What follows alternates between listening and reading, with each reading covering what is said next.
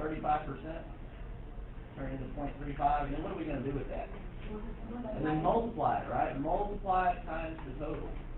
We're gonna multiply that times the total, let's take our calculator, twenty-eight times point three five. And what does nine dollars and eight cents represent, or I'm sorry, nine dollars and eighty cents? Uh, how much you take off How much you take off? of the twenty? So I have to take this amount right here subtract it from twenty-eight, right?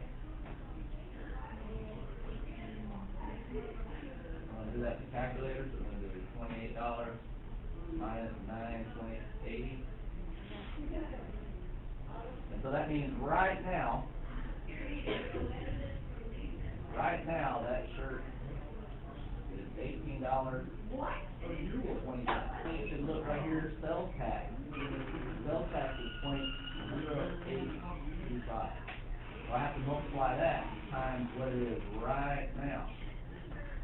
I'm gonna multiply that, so eighteen point two zero times point zero eight two five equals a dollar fifty. And what does the dollar fifty represent? oh, that's the tax. That's my tax. So what do we have to do with You have to tax? add your total, like, you know. That's right, you need to add those two together, right?